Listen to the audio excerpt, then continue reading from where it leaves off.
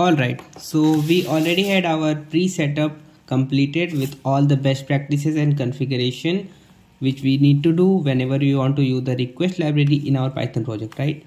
So last time we saw our configuration being completed. This is our configuration which we did. So today we'll see that how do we make a get request uh, using the request module in Python to any REST API, right? So what we can do is we can just create a file named get.py and okay let's start from the scratch and get rid of this code which we this code we had written in our last tutorial but yeah we'll we'll start from the scratch. So first thing which we need to do is just import the request library. Also we need to import the config which we created all right? So for the to use the request library we need to import it right? And to use this configuration we need to import the file. Alright so since we have imported it now what we can do is we should know our URL okay to which we want to make a get request. So how can you get the URL you can say config dot users alright so remember this is our function. It will return us this particular path right to our uh, user details. So if we just print the value of URL and let's just run this program just to check we are getting our required value.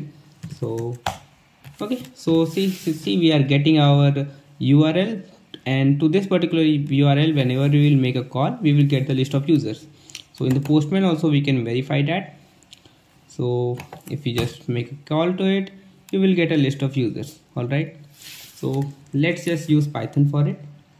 So what we can do is you can say r is equal to request module dot get. So get is a function in request module and using this function uh, you can make a call. You can make a get call to any rest api so first parameter you need to pass is the url to which you want to make a call. Uh, you definitely need to pass other parameters as well whenever you need but as of now we will stick to this one only. And let's just just just print the value of r okay? Let's just see what is r right now. So let's just run it again. And we are seeing that okay response 200 all right. Uh, just before going deep into it just understand that it represents the object and the status code. So uh, the uh, the the r is a response kind of object and the status code is 200 which generally means uh, status okay which means that if you see the postman also you will get a status 200 okay. It means we get got our response right?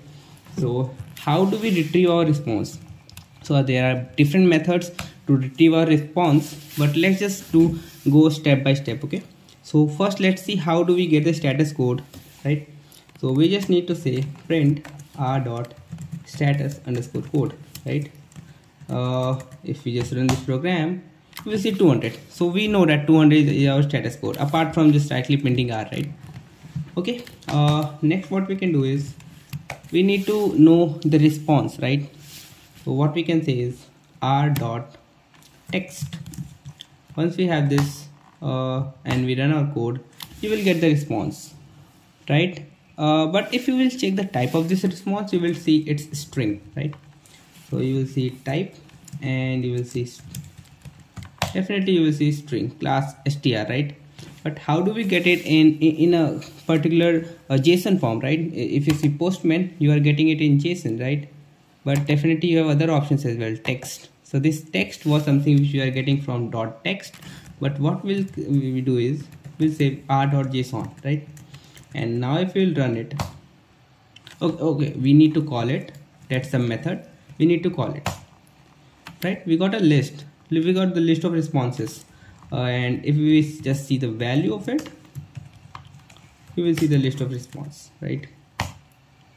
So this is what we have got in json form. Earlier when we just written it like r.text we got it in string form. This particular output we got it in string form. But if we write it as r.json it will give us a well formatted json right? Now this is done. What we can do more is in this particular get call is we can say r dot content. Now what does r dot content do? Let's see. If you run it let me just clear it and let's just run it. See we are getting the same response but you see this b is just prefixed to it. It represents that this particular response is in binary form right now okay? So if you want to get a binary response you just say r dot content if you want want to a text want a string response you say r dot text right? Uh, and if you want a json response you just say r dot json. So these are the common response type which you will definitely need. Um, some more operations which we can perform are like uh, can uh, see this r dot json returns us a list. So some operations like if we just find the length of it. So we'll say okay it's 10 right? So it means we have got total 10 users when we just you know hit this particular endpoint. Right so this is how we get the responses in different formats and this is how we make a get call to a particular REST API one more thing just a small thing which I will just like to show you. If you say r.url right you will get the URL value the URL which you fed to it so definitely uh, this will be useful whenever you are adding other parameters like other query parameters. So in the later tutorials we will see how do we add the query parameters. But as of now we will stick to this point only. And next time we'll see how do we make a post call. All right so we'll see you in the next time